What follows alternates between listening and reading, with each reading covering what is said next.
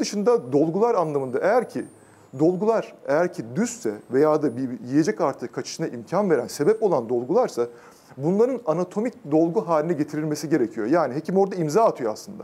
Yani üç boyutlu şekil vererek yiyecek artığı kaçışına izin vermeyen çerçeve sistemi ve çiğneme etkinliğine gelen anahtar kilit sistemine geçiş olmuş oluyor. Bu anlamda anatomik dolguyu da biz çok önemsiyoruz. Hani bütün dişlerin birbirine sızdırmaz teması, sızdırmaz. Kapatması anlamında hastalara mutlu bir gülüş e, vaat etmek gerekiyor bu Teşekkür anlamda. ediyoruz Çok hocam. teşekkür ediyoruz. Profesör Doktor Birkan Taha Özkan hocam bizlerle birlikteydi. Ağız, diş ve çene cerrahisi uzmanıydı kendisi. Teşekkür ediyoruz Teşekkür hocam. ediyoruz hocam. Ben de çok Sağ teşekkür ederim. Sağ olun. Evet.